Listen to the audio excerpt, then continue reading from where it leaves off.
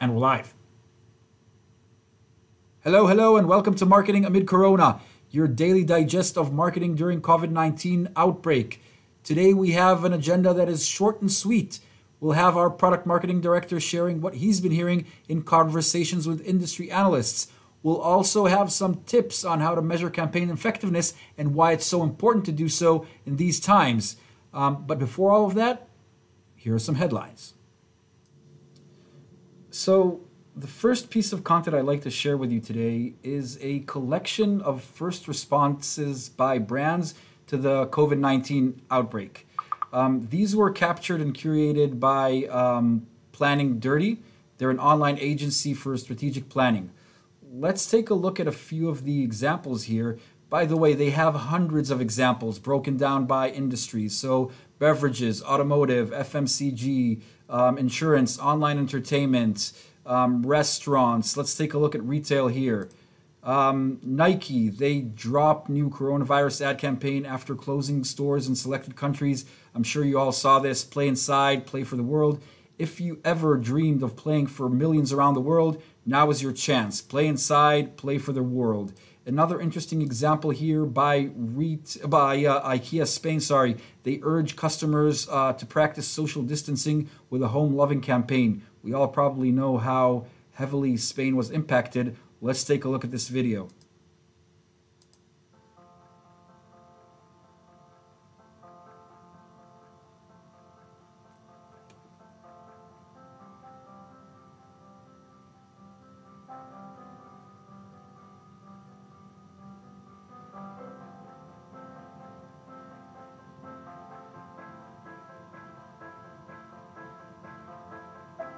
Soy tu hogar y voy a estar para ti, aguantando todo lo que venga. Yep. So hopefully, um, you know, skimming through these examples um, and these resources, you can have you can you know have um, a better understanding of the market and get some inspiration and ideas on how to craft your own uh, responses to the current situation. Next up, Chain Store Age. Um, Chain Store Age have quoted a Nielsen report on categories that have been positively impacted by the vir- virus outbreak. Um, big fan of data here, so let's take a look at a few uh, interesting uh, stats. Um, we can see here that um, bath and shower wipe sales climbed 145%. Makes sense. Um, dried beans proved a popular food item, increasing 3.7x. And what I found most interesting is spiral hams, um, a traditional meal for the upcoming Easter holiday. That the sales of that item went up 6.2x. Um, action items here, not sure there are any, but uh, maybe try to craft campaigns around uh, these holidays coming up and other things or other items that are currently peaking. Um, yeah, maybe that could be an action item. Um, next up, a less optimistic uh, article here. Um, so, on Forbes, uh, nearly every industry has been negatively impacted by the disease, and businesses that are losing out on cash have started laying off workers. Um, here you can find a list of tons of companies uh, across the U.S. that have laid off um, laid off employees, and the amounts also broken down by industry. Um, just uh, one example here high end clothing rental service, Rent the Runway, laid off all retail employees across the country. Um, action item here is um, hopefully you're not, but if you are planning layoffs, uh, this might be a useful resource to plan your volumes and benchmark against other brands.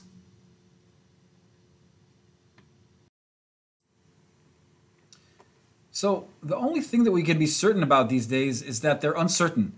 Um, on top of being as creative as we can, in such times, most of us tend to look sidewise to see what others are doing. On that note, uh, Ronnie Vexelman, our director of product marketing, frequently speaks with analysts as part of his job. Um, I asked him to share with us what analysts are hearing from brands they speak with nowadays. Here's Ronnie Vexelman from his beach house.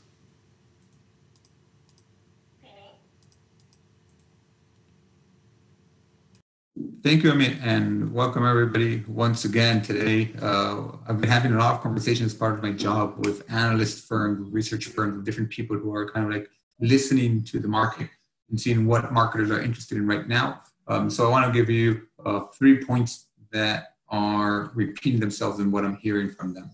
So the first thing is that there's a lot of companies out there that are though shrinking their budgets, but if they've had committed uh, budgets, then they're moving forward. So if you're a marketer out there and you had kind of this plan uh, or this project that you already had committed to uh, initially, um, it could be a new technology, it could be new templates, it could be um, a new agency or anything of that, and you kind of like have that budget already uh, penciled in, and you think you're going to use it, um, and you're going to need that in the second part of the year, and then keep on going. There's others who are doing this. Um, many companies worldwide are continuing to do these investments, and the reason is that we're seeing or we're expecting this period of coronavirus to continue for the next two or three months, but then slowly uh, things will return to normal. And you do not want to just start working on that um, when that time comes. You want to be ready for when that time comes. Second thing is that what's top of mind right now with marketers, and it's no surprise, is understanding consumers' behaviors and state of mind. Right, a lot of interest around social listening tools, a lot of interest about what are my consumers feeling, what are my consumers thinking about, and how can I communicate with them. We've seen uh, considerable uh, reduction in communications being sent out after the initial peak of the first two weeks of uh the virus going uh, uh, global and becoming a pandemic. Um, and I think that this kind of relates to the fact that marketers are not sure of how to talk to their customers yet. So if you're out there and you have these questions, either talk to your vendors and your providers, ask what others are doing, or if you have your own social listening tools, dig into that data and um, listen to what your customers are doing. And don't be afraid to reach out. As long as you're being emotionally intelligent, as long as you're being showing empathy, um, you should be on the safe side. The last thing is what is uh, what are the things that marketers are kind of like uh, dealing with in these days. So one we talked about, of course, and it's not only about what to say to your customers, but it's also when, how, you know, through what channels should I communicate with my customers and at what time? Because their day to day routines have changed wildly from what they were two, or three weeks ago. Second thing is uh, what to do with your downtime. A lot of marketers um, have um, stumbled upon more time in terms of not being in the rush of the day to day of their work because their industries um, are grinding to a halt or because there's a, a certain uh, restraint from uh, sending out and creating new campaigns in these times. So, you know, good examples of what to do with this time is to dig into your data, take the opportunity to look at your customers, understand migrations between life cycles, conversion cycles, what has been working, what is not, what has been bringing the highest lifetime value uh, customers, right? And look at those reports and try to think how could you change your strategies to be better for that. Look at your onboarding sequences Look at your cart abandonment sequences if you're in retail. Think about what are the things that um, your customers would prefer you to have and where you can improve what has been working, what has been not. And then, you know, be ready to roll that out once things go back to normal. The next thing is how do you prepare for later, right? Start thinking about what's coming after the pandemic. We always hear there's a lot of focus on how do I solve, you know, how do I sell right now? How do I market right now?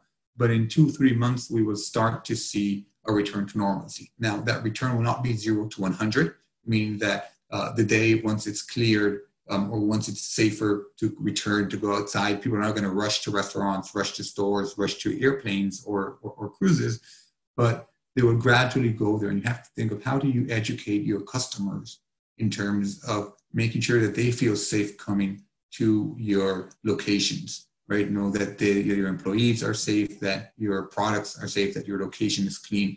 Well, how are you going to communicate all of that to get the foot traffic back for when um, the pandemic is behind us?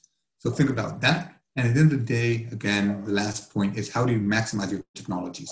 Take a good look at your stack and look at what are you not using from what exists that you can use before bringing new stuff um, before. I think that that's a great way to finish this in kind of like full circle, going from if you're going to buy, if you were going to buy something new or or make a change budget wise and continue to do it, but also you know make sure that you're maximizing what you already have and you're not bringing up additional costs for um, limited value.